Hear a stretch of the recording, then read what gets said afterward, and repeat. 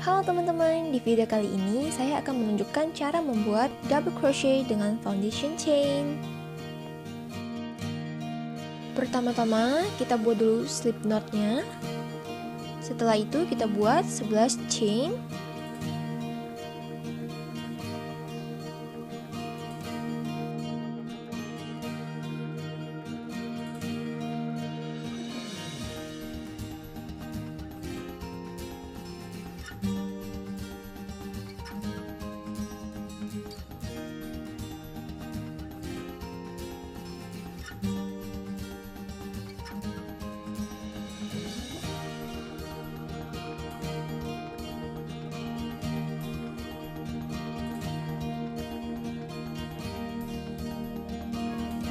Nah teman-teman ini udah ada 11 chain. Kita akan mengerjakan foundation chainnya di tusukan kedua ya. Di chain kedua kita buat satu single crochet dulu. Kita buat satu single crochet. Nah kemudian teman-teman kita akan membuat satu single crochet lagi di loop yang ini ya teman-teman masukkan hakpennya di loop yang ini. Kemudian kita lilitkan satu benang dan tarik melalui satu loop. Sekarang udah ada dua loops. Dan lilitkan satu benang lagi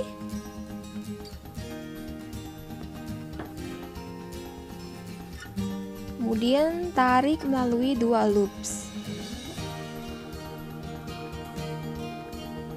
Nah ini udah jadi foundation chainnya ya teman-teman. Lilitkan satu benang kemudian masukkan hakpen ke chain sebelahnya. Kemudian lilitkan benang lagi dan tarik melalui satu loop. Nah kemudian sudah ada tiga loop di hakpen kita. Kemudian kita lilitkan satu benang lagi. Kemudian tarik melalui dua loops. Sekarang sudah ada dua loops di hakpen kita.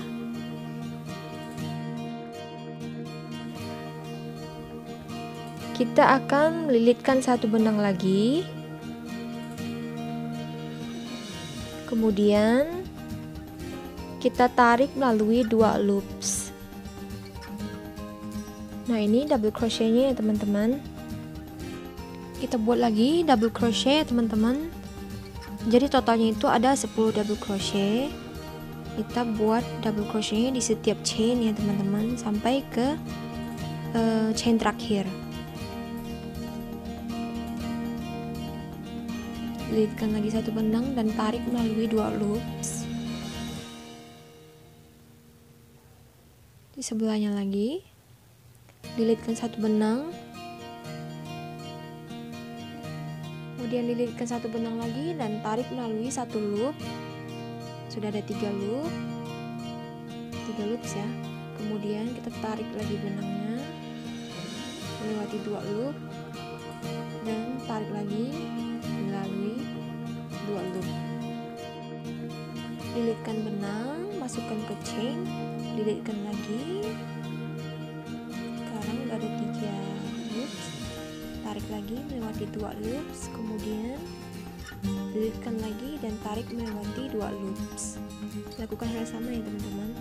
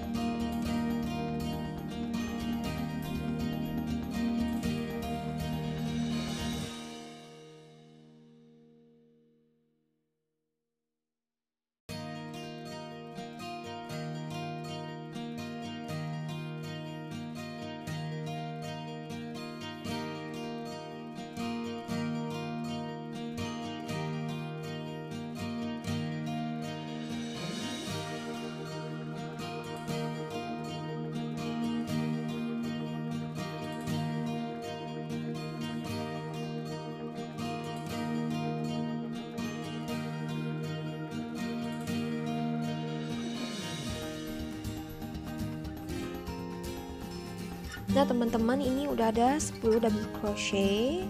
Sekarang kita mau balik dan kita mau kerjakan ke row selanjutnya ya teman-teman. Ke, ke row yang selanjutnya. Kita balik ke kiri. Kemudian kita buat dulu foundation turning chainnya Kita masukkan hakpen ke tusukan yang pertama setelah dibalik ya. Terus kita buat single crochet. Kemudian kita buat satu lagi single crochet di loop yang ini ya teman-teman. Kita buat lagi satu single crochet. Nah ini udah jadi ya teman-teman foundation turning chainnya. Sekarang kita lanjut buat double crochet lagi. Kita buat double crochet sampai ke tusukan terakhir ya teman-teman. Jumlahnya itu ada 10 double crochet kalau udah sampai di tusukan terakhir Nanti kita putar lagi ke kiri Lalu kita buat lagi foundation turning chainnya Dan kita lanjutkan double crochetnya. Ini saya akan membuat sampai 6 baris double crochet teman-teman